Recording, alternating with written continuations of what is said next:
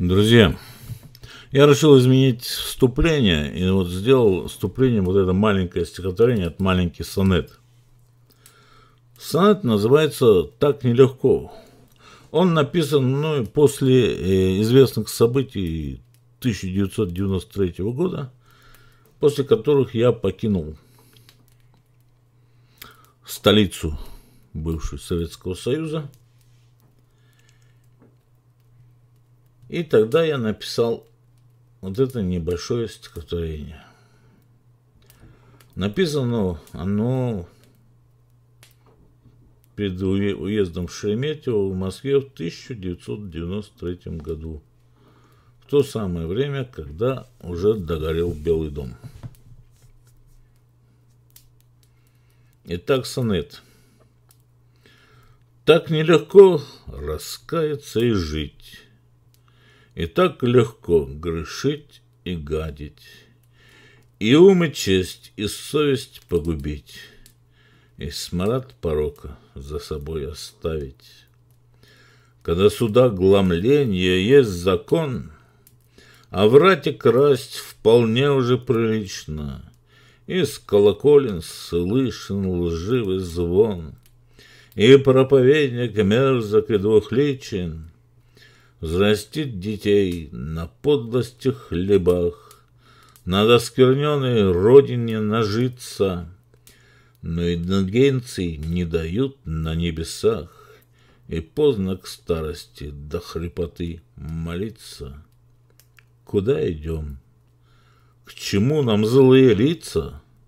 И что несем в неискренних глазах? Друзья, еще раз говорю, как только вы видите говорящую голову на экране, которая вам проповедует и зовет вас встать в строй и идти сражаться, знайте, что это работает палач. Те, кто от, от, отзовутся на этот призыв и пойдут убивать братьев своих, они очень скоро и очень сильно будут завидовать мертвым. Благодарю вас всех за внимание. Теперь слушайте данный ролик. Это стихотворение, если вам понравится, я его оставлю вступлением к следующим роликам. Почему? Потому что если я оставлю то вступление, которое было, то, скорее всего, каждый ролик начнут... У них новая установка, все новые ролики, где там пальба и, и дым и прочее все, они их все просто блокируют. Или затирают в самый низ. То есть это назад не идет, на, на задние ролики это не распространяется, но новые ролики будут подвергаться большому риску, а я хочу оставаться с вами как можно дольше. Итак, слушайте. Приветствую всех настоящих и искренних друзей канала. Время еще не вернулось в наше отражение. Мы все еще находимся с вами во власти часа быка, самого темного времени суток. Как я вас предупреждал, началось уничтожение Южной Европы. Читаю. Наша экономика в настоящее время не является военной, но правительство Италии готовится к тому, к такому варианту, заявил в пятницу 11 марта премьер-министр Марио Драги. Руководители большей части еще выживающих итальянских компаний разных сфер экономики отмечают, что такая ситуация ставит их на грань рентабельности. Там, вернее, та грань давно уже перешли они ее давно – то есть красная черта давно пройдена. Руководители большей части, я сейчас повторяю. Но они что должны сказать? Они же не могут прямо сказать, что все уже. Они еще надеются, что кто-то им поможет чем-то. При этом большую часть используемой энергии Италия импортирует. Вся атомная электростанция, которая обеспечивает страну электроэнергией, были, как вы понимаете, почему приказу закрыты в начале 21 века. Я объяснял, что поскольку количество оружейного урана стремительно сокращается, добыча его практически сведена к нулю, из, экспорт из России идет очень маленький, то скоро все атомные электростанции, за малым исключением, во всем мире полностью станут. А все атомные электростанции, вы знаете, и в Германии, и в Италии уже были закрыты в начале этого века.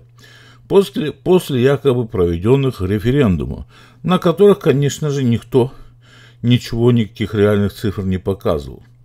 В 2021-2022 году власти выделили уже более 10 миллиардов евро на амортизацию роста тарифов для граждан и бизнеса. Но эти деньги уже благополучно исчезли. Доля российского в общем объеме газа, используемого в Италии, в настоящее время составляет более 40%. Напомню, что в свое время для того, чтобы не было реальных нормальных поставок газа была и нефти, была устроена та самая революция в Ливии, после которой были, так сказать, в десятки раз сокращены объемы поставок газа и Италии в Италию из Ливии и нефти. Власти страны с февраля 2022 года делают заявление о намерении по меньшей мере сократить по политическим мотивам объем закупок в России. То есть ради каких-то неизвестных никому политических мотивов итальянское правительство решило обнулить экономику и посадить все население в ситуацию невозможности дальнейшего выживания. Почему ситуацию невозможности дальнейшего выживания. К середине 2023 года в Италии они, я думаю, доведут до того, что дневная пайка не должна будет превышать 100 грамм пасты сухой в тех регионах, которые будут условно живыми. Не везде, в большей части ничего и 100 грамм не будут давать. А что будет, спросите вы? Я отвечу, к концу 2024 года на территории Апеннинского полуострова найти хоть какое-либо присутствие власти или экономики будет невозможно. Население там сократят на 90%, как минимум. Выживших будут направлять в лагеря Красного Креста в двух-трех местах на территории Пенинского полуострова. Детей будут от, отправлять в такие же лагеря отдельно. Выживут только некоторые небольшие коммуны в итальянских Альпах, в лесах и предгорьях, условно сам, условиях самообеспечения, там, где смогут. Друзья, подумайте сами при этом о том, что происходит сегодня реально – Теперь я хочу вам сказать, что VPN никто реально отменить не может. Там пишут, что закрывают какие-то Роспотребнадзор там что-то закрывает, ничего они реально не закрывают, VPN запретить они не могут, отменить не могут. Мне также некоторые пишут, что карты мир, мир на Гугле принимаются, Google Payment. На самом деле никто пока ничего реально не делал. Все, что может работать, пока что работает. Не знаете, как установить VPN? Попросите друзей. С помощью его YouTube можно будет и дальше смотреть. Без проблем. Германия, Италия Испания уже жестко ограничили отпуск товаров при этом в одни руки. Заметим, что в России тоже ограничивают отпуск товаров в одни руки. И то же самое происходит в Германии, Италии и Испании одновременно – то есть новые санкции ЕС против России должны вступить в силу в воскресенье, сказали нам до этого. Это заявил глава МИД Франции Жан-Ив Ледиран. Это он заявил в субботу. Сейчас готовится новый пакет санкций, который должен вступить в силу сегодняшнего дня, сказал Лидеран в эфире радиостанции Франц Интер. И опять полный пшик – не считая того, что они быстро грабят русские счета и русскую недвижимость. В Испании виллы и квартиры россиян заселяют. Сами понимаете, кем? Теми, чьи жизни очень важны, кто переплыли на байдарках Средиземное море. Надо, чтобы между послами был заключен договор с одной стороны, чтобы запретить импорт железа и стали, вторят ему – чтобы запретить экспорт предметов роскоши, чтобы запретить любые инвестиции в нефтяную сферу, чтобы расширить санкционный список олигархов, отмечают все министры ЕС. Все эти санкции направлены на реальное уничтожение остатков индустрии в самой ЕС. Но при этом какой-то, какой-то, ну при этом задайте себе простой вопрос. Какой идиот, владелец в России, даже олигарх, ну, которые умом не отличаются особой сообразительностью, станет отгружать сталь из России или еще что-либо, например, те же нефтепродукты или минеральные удобрения, если за нее не, не может он получить доллары и евро. Он что, просто так сам, значит, заплатит... Э, а как он будет платить за транспортные расходы за пределами России? Если он не может, не имеет права пользоваться долларами и евро. Просто все санкции финансовой смерти, э, если они реально действуют, санкции финансовой смерти по ограничению платежей из России в долларах и евро, то какие могут быть потом еще экономические санкции. Все, экономика не должна работать на экспорт и импорт совсем, потому что невозможно заплатить за импортируемый товар и невозможно получить деньги за экспортируемый. Единственное направление, которое остается рабочим, это Китай. Ну что с ним сделали, я вам потом расскажу. Придумали бы уж что-нибудь более реальное. Есть вообще странные комментарии. Вот читаю вам. Работаю в порту, все прекрасно. Все товары идут, все магазины Новороссийска ломятся от продуктов. Цены никто не, поми, не, по, не повышал. У нас, наоборот, цены в Новороссийске понижаются. Я даже не знаю, что отвечать таким комментаторам. Где они живут, в каком Новороссийске. Что они пишут. Друзья, на втором канале «Незнакомая Франция» Ссылка в описании, ссылка также можно пройти легко с главной страницы, а можно также просто вбить в поисковике «Незнакомая Франция». Вы туда попадете. Я сделал всем вам подарок вчера. Нет, позавчера. И, как говорится, ну, посмотрел количество посещений и был очень удивлен.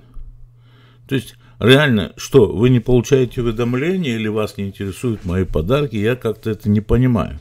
Потому что там около 7 тысяч посмотрело и все. Посетителей. А ведь подарок, там небольшой ролик, и он очень подарок, особенно он нарисован всем женщинам, этот подарок.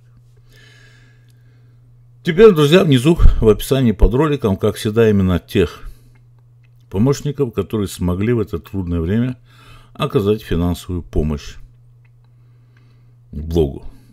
Помощь, конечно, стремительно сокращается. Я понимаю, что время тяжелое. Ну, я говорю, пока, пока будет возможность, буду работать.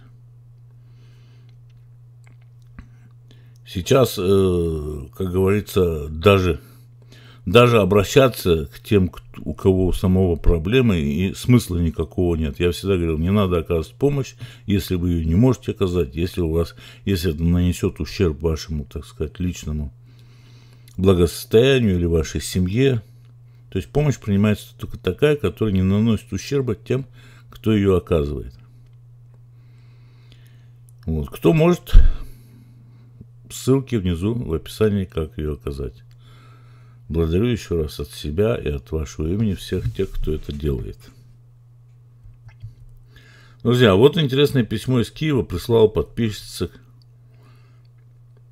Камила. Она нашла такой пост под ником Димон Хаммер. Ну, Камила, она не из Киева сама, но она нашла пост из Киева под ником Димон Хаммер. Читаю.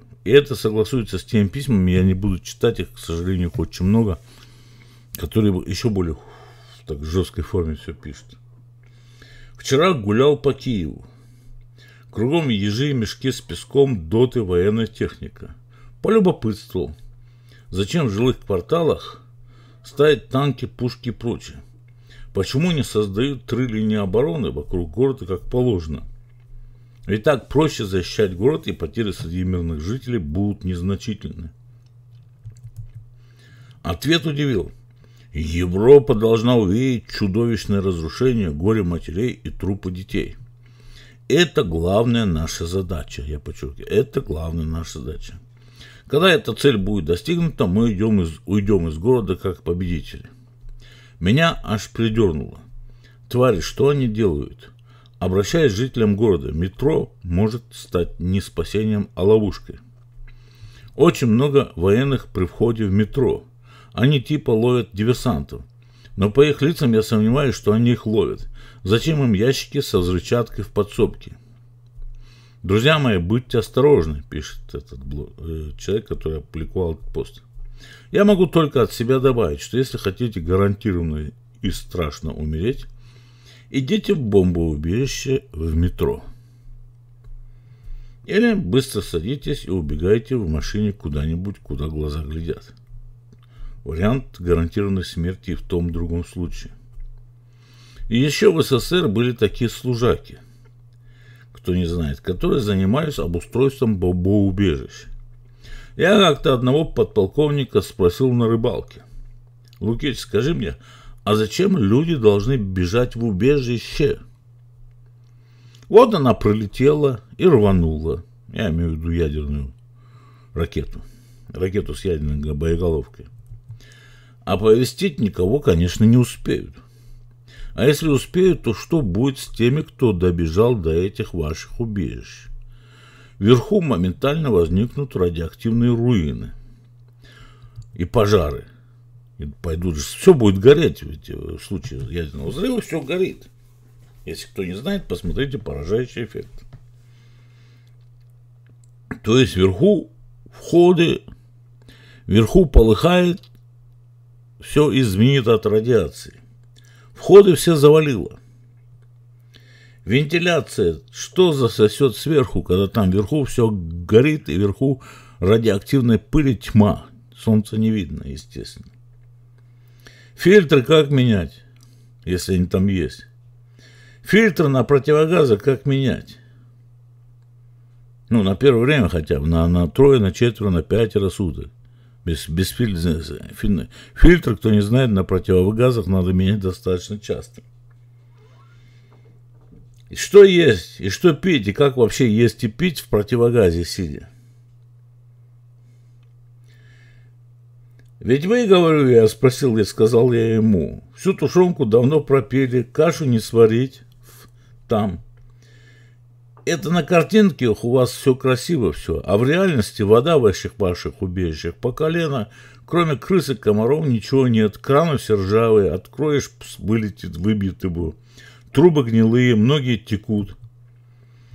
Это что, место коллективной казни людей спасающихся? Спросил я его. Вот ты лично сам туда побежишь? Ответ Лукича. У меня из Макаров есть три пули семье и одну себе. Но у меня работа такая, а жить-то надо. Да и не будет той войны, поэтому тушенку надо использовать по назначению, засмеялся он. Те, кто верит в эту войну, пусть пойдут к этим идиотам и убийцам в форме и спросят. Вот тем убийцам идиотам, которые там ходят в форме спросят. А что, у нас война с Украиной? Или а что, у нас война с Россией объявлена? А вы что, армия на самом деле? С кем воюете? Зачем вам тротил и пластицид в метро носить ящиками и в дома в центре городов? Кто вообще там стреляет и летает без объявления войны? Вопросы есть такие простые. Почему война войной, а газопровод и нефтепроводы прекрасно работают? Вот я еще раз спрашиваю, если война войной между Россией и Украиной, якобы, но война не объявлена ни там, ни там, то почему работают газопроводы и нефтепроводы? И таких почему у вас будет тьма? Читаю письмо Марины из Варшавы. Имя, имя изменил, изменил по ее просьбе. Здравия вам, Марат. Я уже вам писал из Польши, вот пишу еще раз. Я в Варшаве, буду писать только то, что вижу и знаю наверняка. Приехало сюда очень много наших из Украины, она сама из Украины. Поляки очень стараются им помогать, как так стараются, что сами скоро останутся без ничего. В магазинах всего полно, на рынках тоже пока. Наши скупают все подряд, но все равно полно. Сегодня показывали наших дурочек, которые у белорусской границы пытались помешать проехать российским и русским фурам, которых Польша втихаря разрешает завозить продукты. Более того, того дают им зеленый коридор. Не понимая, что, не понимают, что это для их же блага. Наши здешние предприниматели, которые все уже здесь давным-давно, и она имеет в виду украинцев, и успели нахватать жилья для сдачи в аренду, взвинтили резко цены. Но у поляков можно снять жилье по нормальной цене. У приехавших это не получается. Они не знают языка, не знают законов. Приехавшие нарушают правила дорожного движения, жество сразу огребает по полной.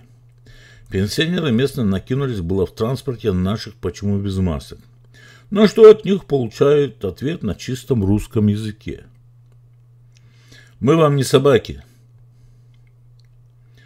Ну, тут никто не контролирует, пришлось пенсионерам успокоиться. Какой-то зам Недельского Сейме пытался писнуть на тему того, что украинцы не привитые. Результатом было густое размещение метро рекламы прививок. Ага, на польском языке реклама. Про QR-коды дальше никто ничего не слышал. Все наши ищут работу. Ее как бы полно, она какая-то странная. Чего-то строят, разваливают и перестраивают дороги, откапывают и закапывают.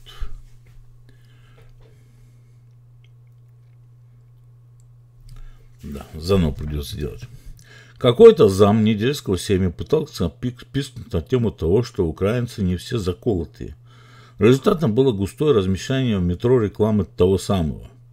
Ага, при этом вся реклама на польском языке. Про те самые паспорта э, настоящих граждан дальше никто ничего не слышал. Все наши ищут якобы работу. Ее как бы полно, но она какая-то странная. Что-то строят, разваливают и перестраивают дороги. То есть где-то откапывают и где-то закапывают. Трубы, например. Женщины расхватывают на склады и теплицы, куда раньше никто не хотел идти. А теперь расскажу немного о известии, которое я получаю из города на Украине, в котором я живу, жила. Источник самый надежный. У нас в городе был единственный химзавод, который работал на всю страну. Его берегут и не разрушают, но он принадлежит господину Коломойскому. Также не трогают пока что и другие предприятия. А у нас их много. Стальзавод, вагонный завод, машиностроительный завод, не учитывая такой мелочевки, как колесный завод, сажевый завод, дормаш, кондитерки, булочки, бул, молочки, обувные, швейные фабрики, практически все это работало до так называемой войны. Супермаркеты работают, официальные поставки сократились и начались на неофициальные. При этом сирены в городе воют со страшной силой, и все. То есть никакого, вот вся война. Уезжать люди не торопятся, рядом села, пока что еще богатые. В нашем городе живет много евреев, их всегда у нас было много. Когда разрешили выезжать на историческую родину, очень мало кто уехал, что-то знали, видимо. Наш город пополам пересекает Днепр, берега не не промышленные, воду только зоны отдыха, пляж, рестораны, лодочная станция. Название этого чуда-города Кременчуг.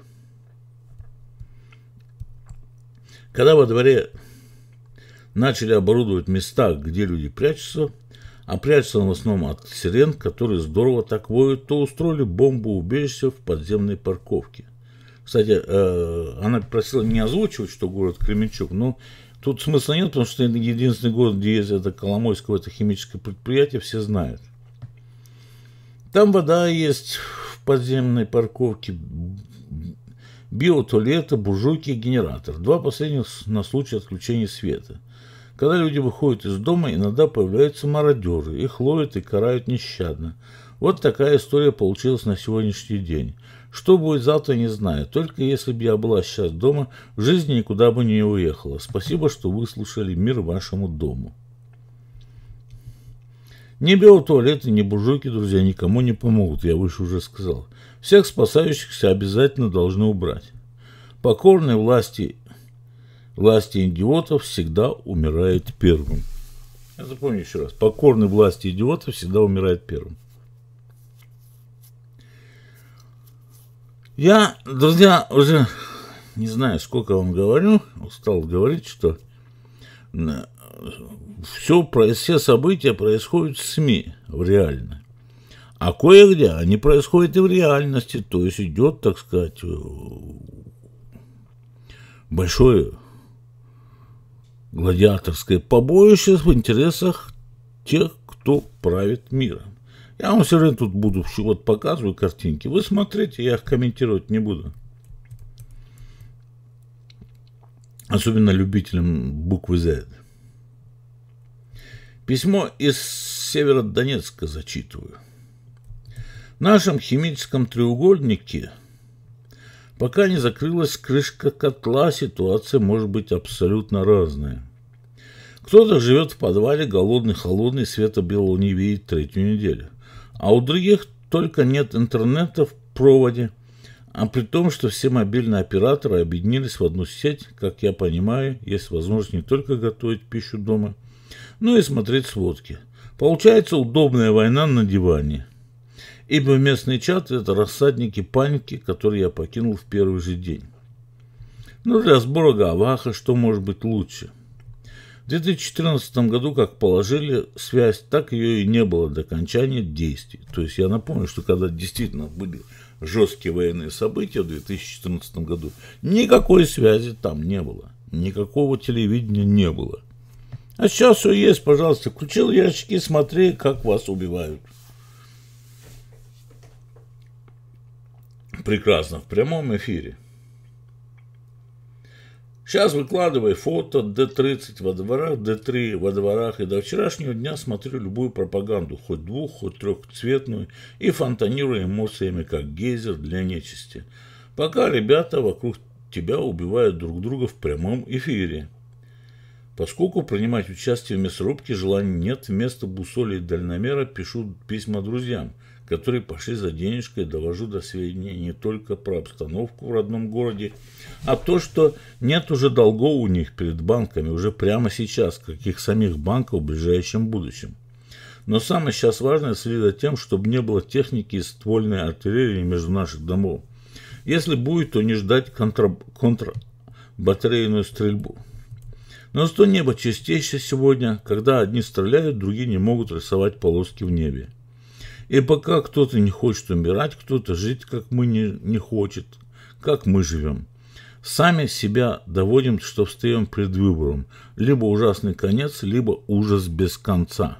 Очень важная фраза. Либо ужасный конец, либо ужас без конца. Но волновать не будем, равновесие неизбежно быть добру.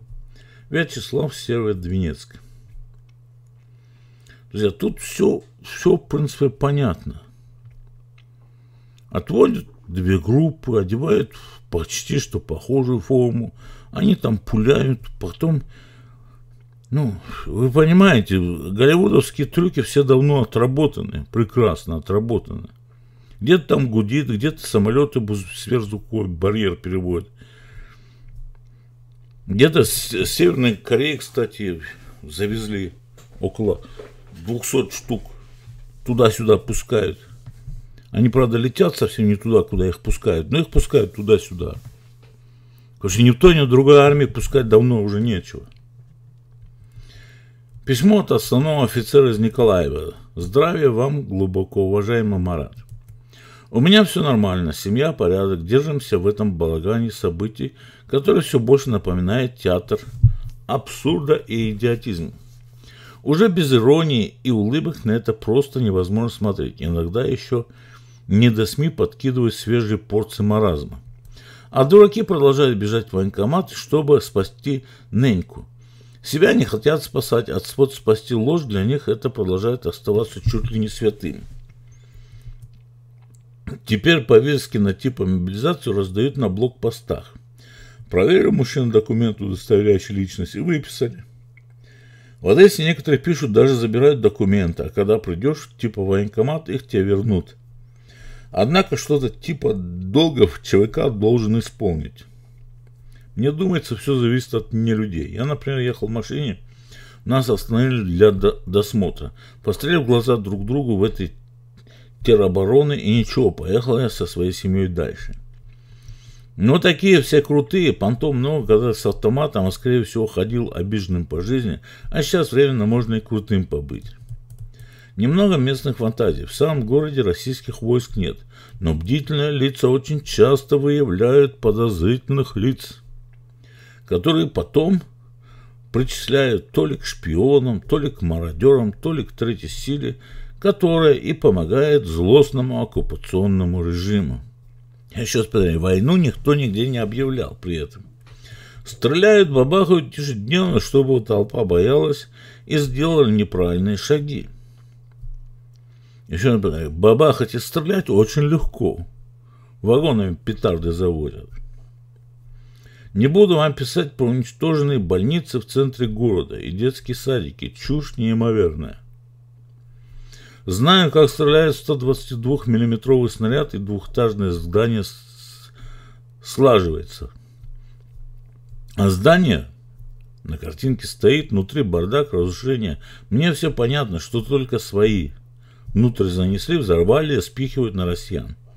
А рядом жилье стоит и целые дома с целыми стеклами, другие учреждения, стекла даже не выбиты. То есть там просто занесли, ну, от подспольного гранат, гранатомета, а такая бросили внутрь. Она там без взрывается, так хлопок, бум, и все. Ну или еще что-нибудь. Ну, 200 грамм тортиловой шашки привесили и взорвали перекрытие или лестницу взорвали между этажами. Все очень просто делается. В лифт бросили, лифт кнопку нажали, он наверх поехал и бабахнул там по дороге. Это все технологии давно-давно отработаны. Но люди-то, люди, которые никогда не видели, никогда не понимают, что происходит, они все это, всему этому верят. Я вам скажу так, что от 122 миллиметровой гаубицы, когда снаряд попадет в хороший кирпичный трехэтажный дом, он весь сложится вовнутрь, и еще и образуется яма большая. То есть на, наружу ничего не будет видно, будет яма. Метров 15-20 в диаметре. Как минимум. И там весь этот дом внутри где-то будет, в этой яме. Там никого из, из, из, из развалин спасать некого будет. Если там люди были, то они там все и остались.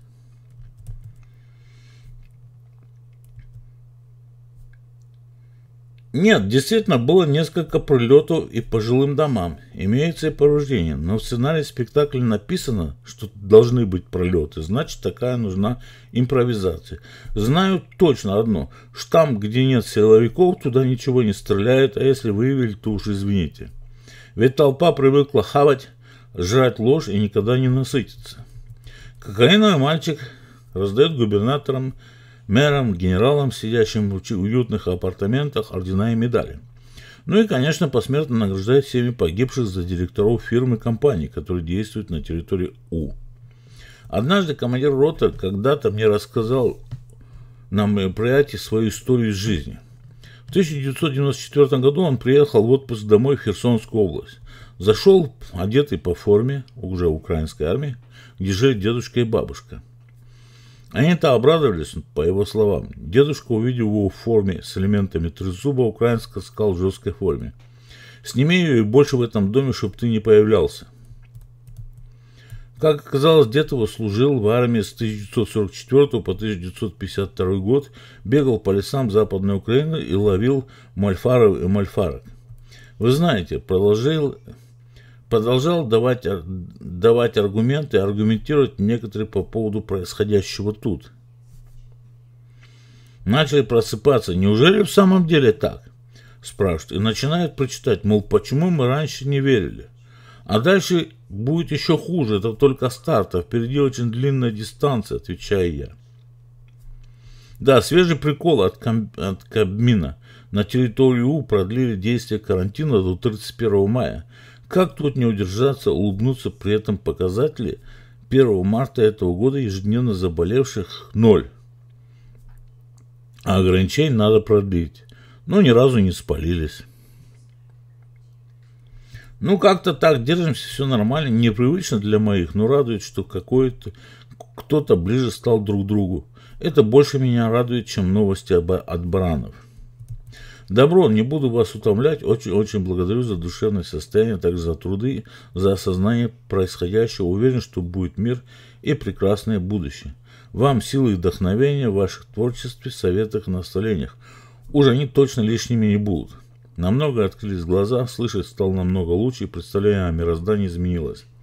Благодарствую вам, рад, что мои сомнения теперь сложились в правильном направлении, и то, что меня гложило и не давало мне покоя многие годы, на вопросы типа «что-то здесь не так» я нашел ответы. Искренне с благодарностью подписчик Константин. Всех вам благ, честь имею, жму руку. Ну, есть письма из Одессы, где там говорят, что поставили в центре города танк и обложили дюка мешками с песком. Вот такая там в Одессе идет страшная война. Но при этом эвакуируют. Друзья, задача, я в том ролике вам еще говорил, задача очень простая. Население э, Украины надо либо уничтожить, либо эвакуировать. То есть все население. Почему? Потому что потом будут созданы кибуцу, и там приедут хозяева, а рабов привезут из Китая, потому что украинские черноземы очень нужны для мировой сионистской организации. Поэтому там все будет организовано так, как надо.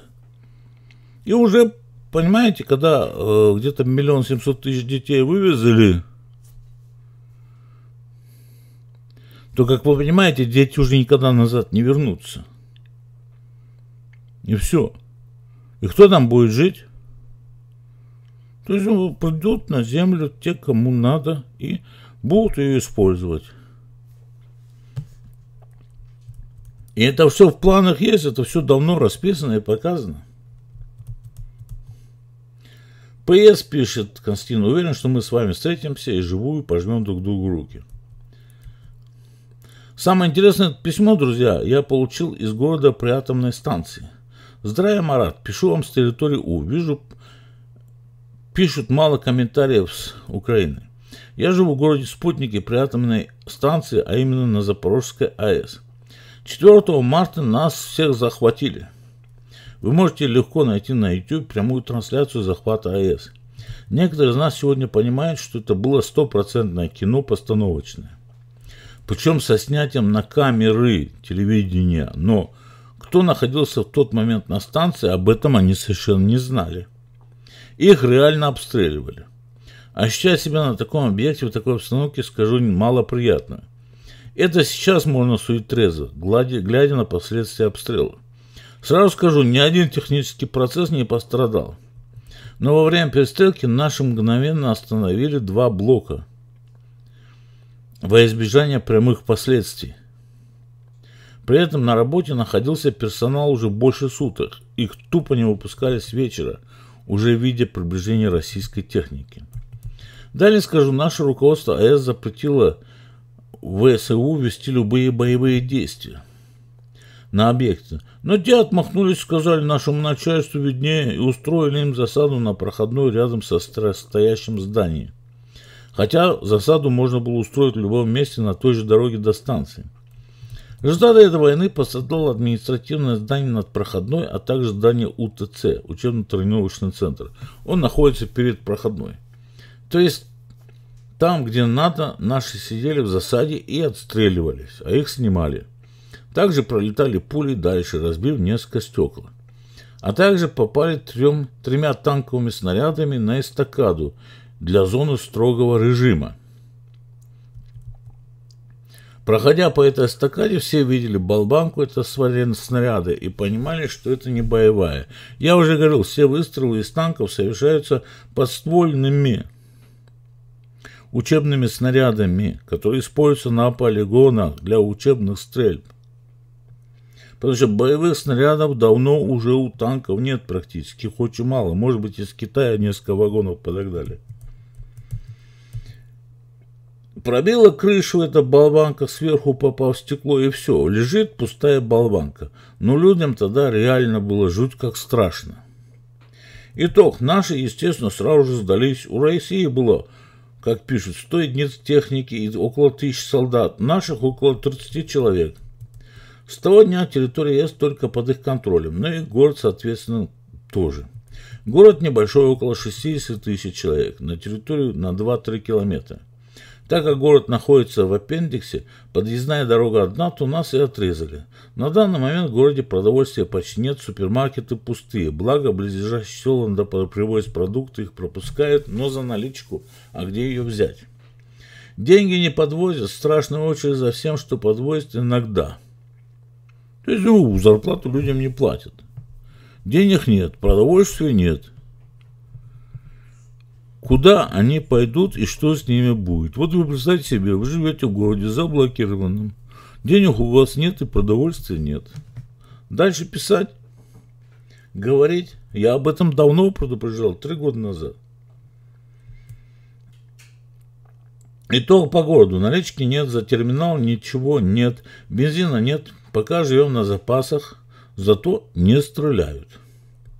Но это, как оказалось, не самое страшное. Три дня назад объявили, что теперь наша станция относится к Росатому, а не к энергоатому Украины. И теперь это территория России. Пока выше наше руководство сопротивляется, они давно уже захватили и вывезли всю документацию со станции. Лично видела, как вывозят груженные машины. И вот со вчерашнего дня они решили взяться за мирное население – а именно выше на патруле в городе. Останавливают машины, отбирают ценности и деньги, запрещают тонированные стекла.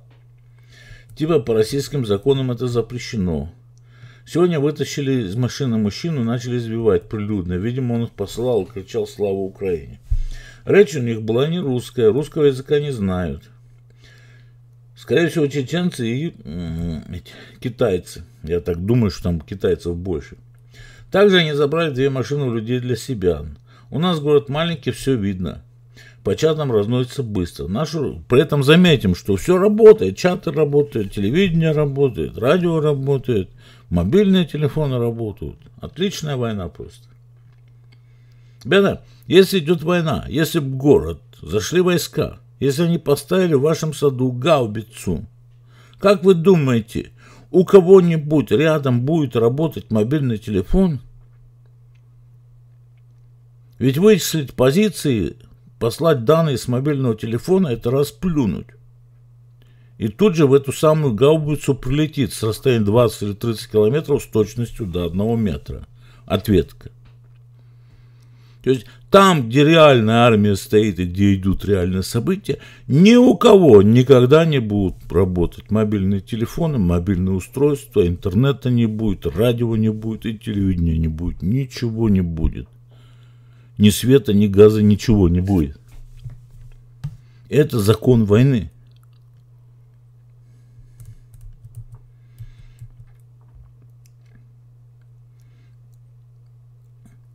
Наше руководство, пишет она, предложило персоналу родным не выходить на улицу сегодня. А я вот думаю, может еще и забьют подъезды в избежании конфликтов. Вот так нам пытаются вбить, что мы на территории Ук... России с паспортами Украина и так далее. На работу ЭС, АЭС запретили ходить с любыми мобильными телефонами с завтрашнего дня. Также смотрят в городе в мобилках на фото их техники отбирают телефоны, если понравится или если не понравилось фото. Ну, то есть человек идет, у него отбирают мобильный телефон, если он нравится, его просто забирают. То есть чистейшей воды мародерство. Э, я, я повторяю, оккупанты никогда не будут так относиться к объектам важным, таким как атомная электростанция. Им надо, чтобы все работало как часы, чтобы люди, наоборот, радовались, что им дают жить, их бы кормили и говорили, вы работаете, друзья, и все будет хорошо.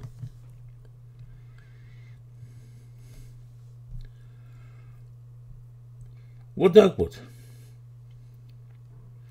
Что будет дальше, пишет она, не дальше не знаю. В городе 6 дней не было мобильной связи и интернета.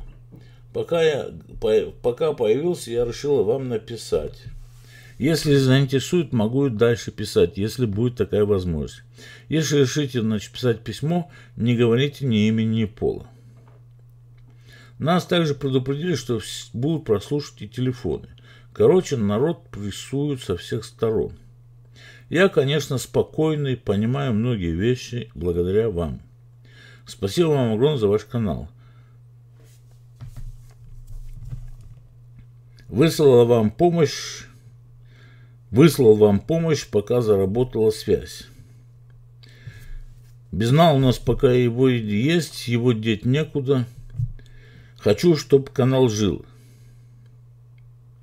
Хотя, как нам пишут все знакомые, в Запорожье в двух часах езды в городе все есть. И нал, и бензин, и продукты, все есть. Не забывайте, кто контролирует Запорожье, друзья мои. Но нам, к нам они не пускают фуры, и выехать не можем совсем без бензина. Ни у кого бензина нет. Я пытался выехать из города на остатках бензина, чтобы заправиться, не смог, развернули назад и запретили выезжать, сказали, в следующий раз машину заберут. Ну и в конце концов, самое важное письмо, которое ставит все на свои места, друзья, в этом страшном спектакле мнимой войны, где прекрасно работают предприятия «Газпрома» и «Укргаза», а также еще один синдикат, те же предприятия. Я, кстати, вам скажу, что «Газпром» и «Укргаз» – это на самом деле один единый синдикат. Предприятие Коломойского работает, им нужны некоторые заводы доли производства удобрений после заселения жителей Израиля и создания огромных ферм, где будут работать китайцы. То есть им нужны, например, будут минеральные удобрения. Я прекрасно понимаю, что ура-патриоты условно разумных, а тем более неразумных, переубедить совершенно невозможно никакими фактами. Я это прекрасно понимаю. Они как тот Фома, которому уже поперхнул, поперхнулся крокодил. А он все не кричит «Не верю!» Аллигатор вздохнул и сытый глубокую или в зеленую воду нырнул. Не верю, кричат. Да, я вот тут пишешь, вот она вот летит прямо у меня над головой. Я вот говорю, до сих пор ни, ни один человек ничего не прислал реального, чтобы там что-то летело. А ведь снять можно, например, если оно летит, если ракета, например, летит, то снять ее можно с совершенно безопасного расстояния. С расстояния 50-60 километров можно снять на мобильный телефон. Прекрасно будет видно. Ее черт сколько видно. То есть, если бы она летала, летела, то 6-7 миллионов видео было бы сразу. Но все продолжают кричать, как так, вот у меня над головой она прямо летит. Вот читаю вам письмо от одного из многих оставшихся пока в живых профессионалов. Уважаемый Марат, по производству мин и снарядов я обладатель уникальной гражданской закрытой специальности. Таких выпускали не более 50, 50 человек в год на весь СССР. Шесть лет учебы вместо пяти, и все спецпредметы только в спецлекционных комнатах и библиотеках – под наблюдением, под строгим наблюдением первого отдела и подпиской о неразглашении и невыезде из СССР на многие годы. Учился в 70-е годы 20-го столетия. Смысл специальности – взрыватели для мин, снарядов, бомб и ракет. Хранение, производство, применение, разработка. Учили химии, точной механике, электронике, радио и радиолокации. Я наметил, что взрыватели для мин, снарядов, бомб и ракет. Смысл специальности, я сейчас повторяю. Практику проходили на заводе и в цехах, где работало не менее 40 тысяч рабочих. 40 тысяч рабочих, которые день и ночь выпускали взрыватели. Я был этому поражен. К заводу проложен был железнодорожный путь, и привозили сырье и увозили взрыватели составами. Я объясню, почему составами возили взрыватели. Потому что 70% взрывателей шло на, на экспорт из Советского Союза. В том числе прекрасно в страны НАТО шло, все это продавалось. Производили все на поточных французских и немецких линиях. Я подчеркиваю, все оборудование было из Франции, Германии много было точного ручного труда. Ну, как это ручной труд, мы, представьте себе, там сидели люди в белых халатах с моноклем глазу и выполняли уникальную ювелирную работу, которую можно сделать только руками, как на часовом заводе. Так вот, я подчеркиваю, что это был уникальный на весь мир завод. Так вот, в 1993 году этот завод встал. Навсегда. Другие аналогичные заводы встали тоже, сообщали однокурсники. Сейчас этих заводов уже стен нет, все снесли. С 1997 года меня, как успешного выпускника, приглашали на кафедру для участия в приеме и защите дипломных проектов. Заявляю, с 1996 года прекращен полностью выпуск специалистов, которые хоть что-то понимают в производстве, хранении, применении и проектировании взрывателей. Я же с 1996 года на территории СССР во всех 15 республиках, кроме Белоруссии, прекращен выпуск специалистов, которые хоть что-то понимают в производстве, хранении, применении и проектировании взрывателей. Стали выпускать специалистов по системам охраны и безопасности. Понятно, охраны и безопасности чего? Частных вооруженных компаний, частных военных компаний, частных предприятий, частных фирм, которые не принадлежат России. Проектные институты, занимающиеся разработкой взрывателей, полностью ликвидированы в 1992 году. Помните, я в прошлом году, в прошлом ролике вам говорил, что никаких выстрелов для систем залпового огня с 1992 года не производят. Срок хранения ракеты для града. Например, вот сам по себе боеголовка 7 лет и несущая часть там может быть, может быть лет 10. Это потолок. То есть они давно все непригодны к использованию. Все, что было выпущено до 1992 года. То есть в настоящее время, это да, продолжать читать письмо, нет ни производства, ни специалистов по взрывателям. А взрыватель это 99% снаряда, мины, бомбы, ракеты, так как без него снаряд, мина, бомба, ракета это типа тротиловая шашка, которую нечем подорвать. В, РФ нет ракет к сушкам, добавлю я от себя. Но на территории РФ и Украины есть военные базы, смешанные из летунов НАТО и КНР. А то, что вам показывают как калибр, есть страшно устаревшие оперативно-тактические ракетные комплексы 9К-72 «Эльбрус». Начиная с 1973 года достаточно широко поставлялся этот комплекс на экспорт. Кроме стран Варшавского договора, ОТРК состояли на вооружении в Афганистане, Вьетнаме, Египте, Ираке, Йемене, Ливии, это я вам как профессионал говорю, Сирии. На базе комплекса были созданы аналогичные системы в Северной Корее. Я подчеркиваю, создали в Северной Корее. Которые потом немного переделали корейцы, и в Иране этот самый комплекс стал называться Шехаб. В свое время модернизированные версии использовали войска СССР в Афганистане – в Афганистане по позициям Маждахетов было запущено около тысячи ракет. Эффективность безъядерных зарядов отвратительная, я вам скажу. После вывода ограниченного контингента Эльбрусы остались в распоряжении афганского правительства, правительственных сил. Заряды к ним, выстрелы, производит Китай, до сих пор туда, может быть, и возят.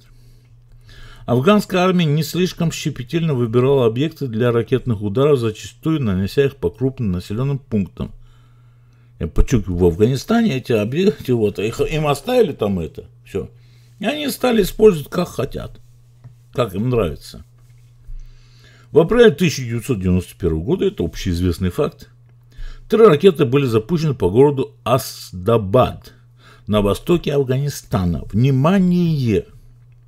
Одна ракета упала на городском рынке, убив, ранив около тысячи человек. Я подчеркиваю, одна ракета убила более тысячи человек. Никто никаких ракет на территории Украины пока что, слава богу, по городам и жилым комплексам нигде не выпускал. Последний раз российские ракеты Р-17 в боевых условиях применялись во время Второй Чеченской. К тому моменту в российской армии уже почти не осталось это ракетных бригад, вооруженных комплексом «Эльбрус». Но на складах скопилось большое количество просроченных, подчеркиваю, уже тогда они были просроченные – ракеты.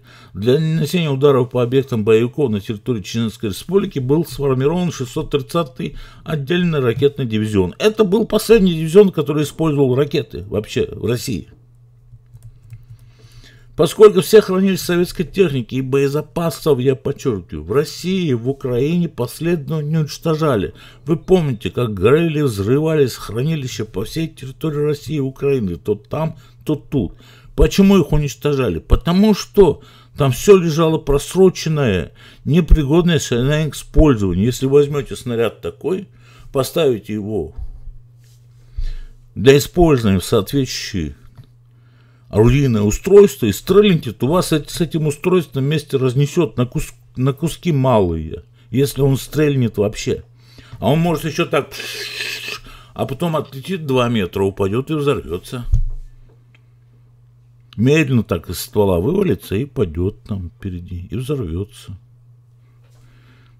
То есть все, что стреляет сегодня на территории России и Украины, все, что стреляло в Осетии, это все иностранного производства. В основном Северная Корея и Китай.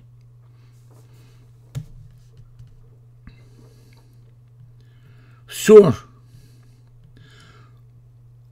для доказательных, так называемых опереточных пусков, помните, во время Сирии показывали опереточные пуски калибров, используются ракеты из Китая, которые в России называ, называется 9К-79-1.У. Вещь совершенно сама по себе отвратная. Летит плохо, летит куда попало, давно не производится в России. Взрывается вместе с пусковой установкой часто. Есть корабельная версия. Китай доработал, она летит более-менее нормально и вроде как ни на кораблях, ни, ни в месте пуска не взрывается. Но все, что вам могут показать реально, если это реально, а не оперативно, потому что 90% того, что показывают, это просто кусочки из детских игр. Ну, не детских игр, а тех игр, где стрелялки всякие. В том же Xbox там То есть вот все, все военные эти самые самолеты там, которые летают, там стреляют, это в основном все оттуда вытащено. То, что показывают по экрану телевизора. Я еще раз повторяю, так как срок использования советских ракет весь всех закончился в 2000 году полностью. После чего в РФ и на Украине никто не производил ничего подобного. Частным армиям России и Украины вообще не разрешено иметь подобные виды ни морского, ни наземного вооружения. Единственная реальная армия сегодня есть в Беларуси, но о ней поговорим потом. Подписчица Виктория мне напомнила, что на обложке «Экономист» 2021 года там четко есть слово «Сион», «Война», есть слово «Вор» и самая последняя строчка «Россия». На этом, друзья, завершает этот ролик. Любителям символов сионистов Z все это, конечно, очень не понравится, но тут уж я ничего изменить не могу.